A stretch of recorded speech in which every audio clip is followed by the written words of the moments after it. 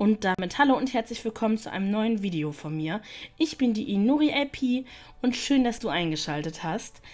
Diesmal gibt es hier kein Let's Play zu sehen, sondern es gibt ein anderes Video und zwar wurde ich nominiert. Ich wurde nominiert für die Liebster Award Challenge von dem guten Gamer wie ich und von dem lieben Z-Team. Ja, ich wurde zweimal nominiert gleich. Ich mache das ja immer gerne mit. Also vielen Dank an euch für die Nominierung und ganz liebe Grüße an euch. Und zwar äh, muss ich elf Fragen beantworten. Allerdings äh, haben mir beide Seiten elf verschiedene Fragen gestellt. Also werde ich in meinem Fall, da ich zweimal nominiert wurde, 22 Fragen beantworten, weil die auch unterschiedlich sind. Und in der Kanalbeschreibung, in meiner Kanalbeschreibung, findet ihr dann die Regeln für dieses Challenge. Und ähm, dann findet ihr dort auch noch meine Nominierungen, die Leute, die ich nominiert habe für diese Challenge und meine elf selbst ausgedachten Fragen. Genau, ich werde den Leuten dann auch nochmal Bescheid geben, äh, die ich nominieren werde.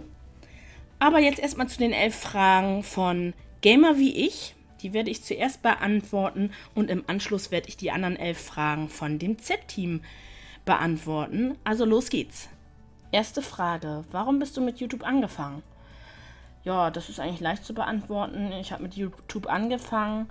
Also, ähm, das kam so, dass meine Schwester erst mit YouTube angefangen hat. Und äh, sie hat dann gesagt, ja, mach das doch auch. Du zockst ja auch gerne. Und ich könnte mir das gut bei dir vorstellen. Und ja, so kam das dann, dass ich mir auch einen Kanal erstellt habe hier auf YouTube vor ungefähr anderthalb Jahren. Und ähm, ja, seitdem mache ich YouTube. Also Let's Plays gibt es bei mir auf dem Kanal und Unboxings und äh, ab und zu auch mal einen Vlog. Aber allerdings nur, wenn ich so auf einer Convention gehe. Ja, mal gucken, was sonst noch so auf meinem Kanal passieren wird. Frage 2. Wann bist du das erste Mal mit Zocken in Berührung gekommen? Das erste Mal mit Zocken, ähm, das müsste ungefähr 1995 gewesen sein. Da war ich ungefähr sieben Jahre alt. Und ähm, da durfte ich dann auf den Computer von meinem Vater spielen. Und später habe ich dann auch noch die Super Nintendo bekommen. Ja, so war das. Das waren so die Anfänge. Frage 3. Was war das erste Spiel, was du je gezockt hast? Das erste Spiel, was ich je gezockt habe, weiß ich nicht mehr. Also ich habe ja äh, auf dem Computer von meinem Vater gespielt. Ich glaube, das muss irgendwie ein Kartenspiel gewesen sein oder irgendwie so ein Kinderspiel mit, ach, ich weiß es nicht mehr. Oder Pinball. Pinball hätte das auch sein können oder könnte das auch sein. Ich weiß es nicht mehr genau. Ich kann mich nur noch daran erinnern, dass ich auf der Super Nintendo Super Mario gespielt habe und auf dem Computer habe ich irgendwie so Kartenspiele oder ich weiß es nicht mehr. Ich kann es nicht mehr genau bei Namen nennen. Frage 4. Was möchtest du mit YouTube erreichen? Also ich mache YouTube nur aus Spaß. Es ist einfach ein Hobby von mir. Ähm, was will ich damit erreichen? Ich will eigentlich nur damit erreichen, ja, dass andere äh, auch Spaß daran haben, an meinen Videos, andere damit erheitern. Vielleicht können einige ja auch bei meinen Videos gut entspannen. Also ich mache es nur so als Hobby. Mir macht es Spaß, Videos zu erstellen und auch Thumbnails zu erstellen. Mm, es ist halt eine schöne Abwechslung zur Arbeit. Und ähm, ja, also ich will jetzt kein großer YouTuber werden. Das ist, glaube ich, auch gar nicht so meins. Ähm, weil dafür bin ich auch ein bisschen zu schüchtern. Und ich stehe auch nicht so gerne im Mittelpunkt. Also mir reicht das schon, wenn ich einfach, äh, wenn einfach eine Handvoll von Leuten oder vielleicht auch ein, zwei Leute nur einfach Spaß an meinen Videos haben und gerne zuschauen. Das reicht mir schon und macht mir dann auch eine Freude. Und da ich eh spiele und äh, ja, zocke, wie auch immer, kann ich das auch gleich aufnehmen. ja. Frage 5. Was hast du so an Hobbys? Ja, meine Hobbys sind äh, natürlich zocken, sonst würde das ja alles keinen Sinn machen, dass ich Let's Plays mache. Ähm, ab und zu äh, zeichne ich auch gerne, wobei ich das momentan gar nicht schaffe, da ich von der Arbeit immer so geschafft bin. Das habe ich momentan echt vernachlässigt. Ansonsten schaue ich gerne noch Bücher Also ich, ich schaue, ich lese gerne Bücher, so. da sind ja meist, also es sind schon Bilder drin. Also wenn ich Mangas lese, dann sind da schon Bilder mit drin, ne? Aber sonst ist das ja eigentlich nur Text. Äh, ansonsten, ja, ich, ich, ich weiß nicht. Ja, das sind so meine Hobbys. Ab und zu gehe geh ich auch gern mal weg, obwohl das ist eher seltener, weil ich bin gar nicht so der Typ dafür. Mm, ja. Aber zocken ist schon das größte Hobby, glaube ich, von mir. Doch, kann man sagen. doch, doch. Sechste Frage. Auf welches Spiel freust du dich in nächster Zeit? Also, äh, ich weiß gar nicht, was dieses Jahr noch alles rauskommen wird. Worauf ich mich aber schon richtig freue, ist, ähm, ist glaube ich, Ende des Monats, ich glaube zum 31.08. Äh, Life is Strange Before the Storm, das ist die Vorgeschichte von Life is Strange, be beziehungsweise die Vorgeschichte von Chloe ist das. Ähm, darauf freue ich mich schon. Ich bin gespannt, wie das Game werden wird und äh, was uns da so erwarten wird. Ich werde es auf jeden Fall Let's Playen. Ja, darauf freue ich mich am meisten, würde ich mal sagen. Siebte Frage: Was ist dein absolutes Lieblingsspiel? Ich muss ganz ehrlich sagen, ich habe eigentlich kein absolutes Lieblingsspiel. Es gibt viele schöne Spiele, viele gute Spiele und sich dazu entscheiden, finde ich sehr schwierig. Ähm, einige Spiele spiele ich öfter, weil sie eher rundenbasiert sind, wie zum Beispiel League of Legends. Das spiele ich privat. Ähm, allerdings würde ich das nicht als mein Lieblingsspiel bezeichnen. Äh, nee, nee, nee, nee, eher nicht. Also es gibt viele gute Spiele, ich will mich da gar nicht festlegen. Ähm, ja, finde ich schwierig. Und dann kommen wir auch schon zur Frage 8. Wenn du die Wahl hättest, mit YouTube Geld zu verdienen, würdest du eher den Job als YouTuber nehmen oder deinen regulären Job weiter ausüben? Naja, ich habe ja eigentlich schon gesagt, dass ich YouTube nur aus Spaß mache. Äh, klar kann man auch mit YouTube Geld verdienen, aber ich glaube, das ist ziemlich schwierig. Ich glaube, da müsste man nebenbei auch noch irgendwie streamen, entweder auf Twitch oder, naja, YouTube geht ja eigentlich auch. Mm. Aber ich will eigentlich auch gar nicht so groß werden. Ähm, wie gesagt, für mich ist es ein Hobby und es soll eigentlich auch ein Hobby bleiben. Und ich würde meinen Beruf auch ungern aufgeben. Ich mag meinen Beruf eigentlich ganz gerne. Ich bin ja Erzieherin in der Krippe und arbeite mit äh, 0- bis 3-Jährigen zusammen. Also, die arbeiten, also, ich betreue die, ja. Das klingt so komisch, ich arbeite mit Kindern zusammen. Das war ein bisschen blöd formuliert. Ähm, ja, aber ich mag den Beruf gerne, ich, ich mag Kinder gerne und äh, ja, ich finde es halt schön, jeden Tag auf Arbeit zu kommen und äh, ja, ich finde, das ist ein toller Beruf. Also ich würde nicht gerne YouTuber sein, muss ich ganz ehrlich sagen. Vor allem in der heutigen Zeit nicht mehr. Also für mich wäre es nichts. Und Frage 9. Bisheriges Game-Highlight in diesem Jahr. Also das Jahr ist ja jetzt noch nicht so lang. Wir haben August. Mitte August. Ähm, ich würde sagen, also für mich persönlich ist Yonda The Cloud Catcher Chronicles ein ganz schönes Game.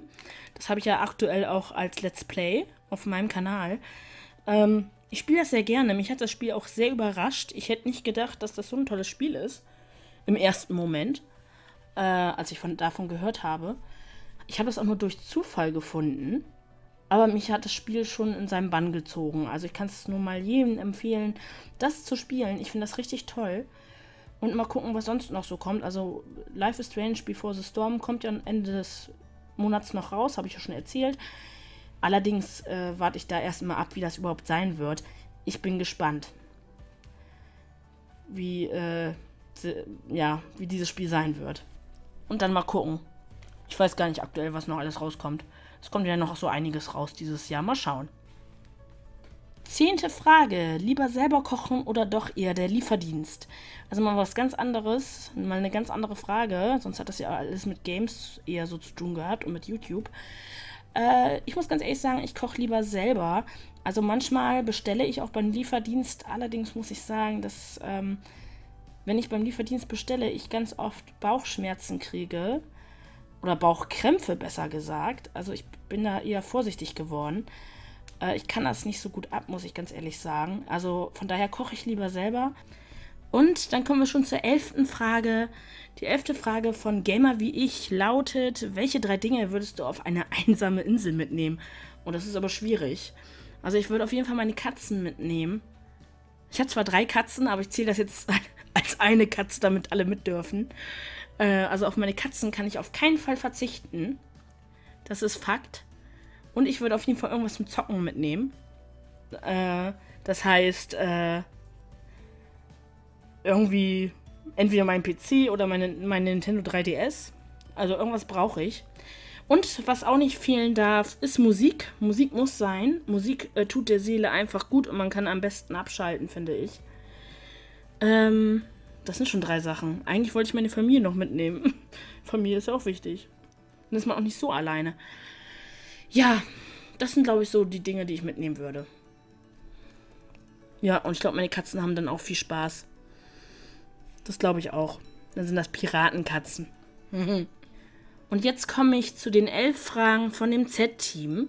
Die erste Frage lautet, wenn Zeitreisen möglich wären und du einen Tag dafür hättest, würdest du einmal zurück oder in die Zukunft reisen? Also ich würde ganz ehrlich in die Vergangenheit reisen. Ähm, einfach um Personen wiederzusehen, die ich heute nicht mehr bei mir haben kann, die von mir gegangen sind.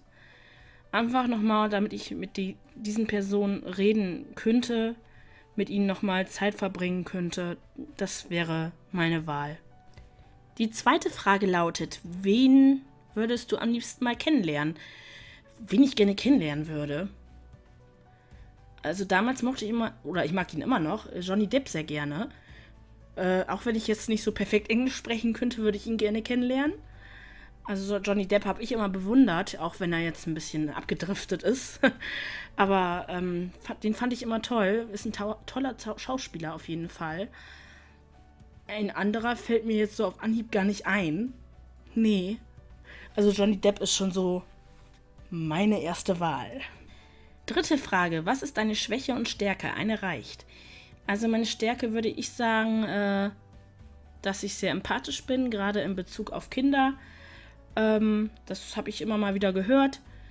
Und, äh, oder wurde mir oft gesagt. Und äh, das glaube ich auch. Meine Schwäche, ja, meine Schwäche ist, äh, dass ich sehr ungeduldig bin. Ähm, ich hasse es, wenn etwas nicht sofort klappt.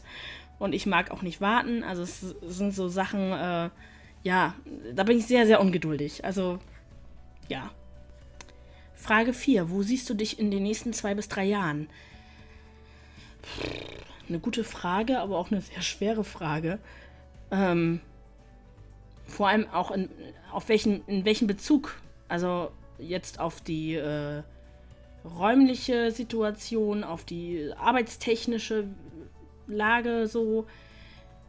Ich weiß es nicht. Finde ich sehr schwierig. Äh, müsste ich mal länger drüber nachdenken. Das Einzige, was mir jetzt so einfällt, dass ich meine Wohnsituation nicht so gut finde momentan, da mir der Ortsteil hier nicht so gut gefällt und ich mich hier ehrlich gesagt nicht so, nicht so wohl fühle mehr. Und ich gerne woanders hinziehen würde. Also innerhalb von Bremen einfach in einen anderen Stadtteil ziehen. Äh, ja, ich würde gerne eher in den Stadtteil wiederziehen, äh, wo ich äh, damals lebte als Kind. Da gefällt mir das tausendmal besser und da fühle ich mich auch viel wohler. Was anderes fällt mir jetzt gar nicht ein, was ich auf diese Frage antworten könnte. Fünfte Frage. Was ist dein größter Wunsch? Ach du Schande. Mein größter Wunsch ist eigentlich, und den kann man auch nicht kaufen oder sowas. Das klingt jetzt wieder ganz plump, weil das wahrscheinlich jeder sagt.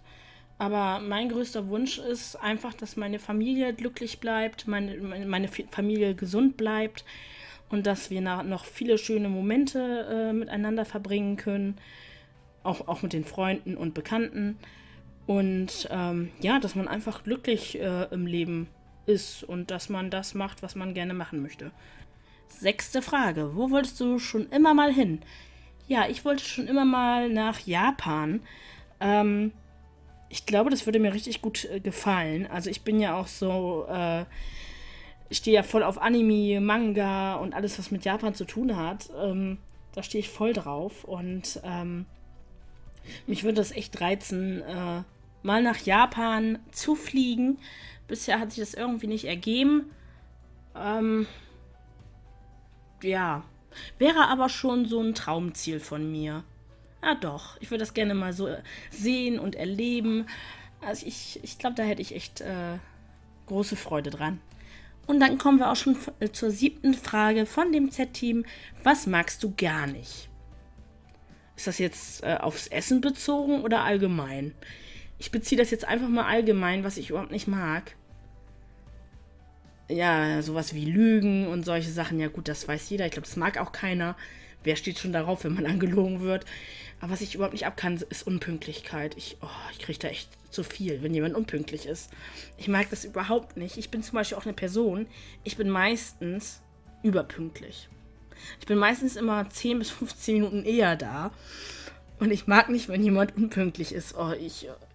Nee, ich mag ich überhaupt nicht.